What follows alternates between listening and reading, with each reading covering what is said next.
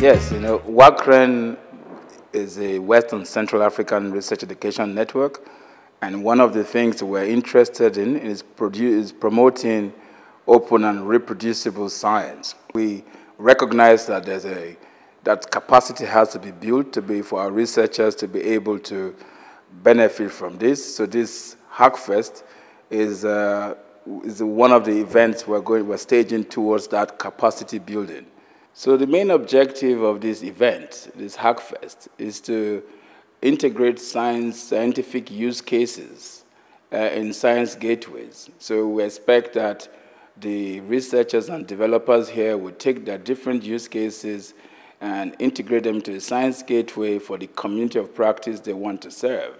So we'll be here for 10 days with, with researchers from across the, across the region, mostly Nigeria though, and some from Ethiopia. Uh, the Kenyans couldn't make it.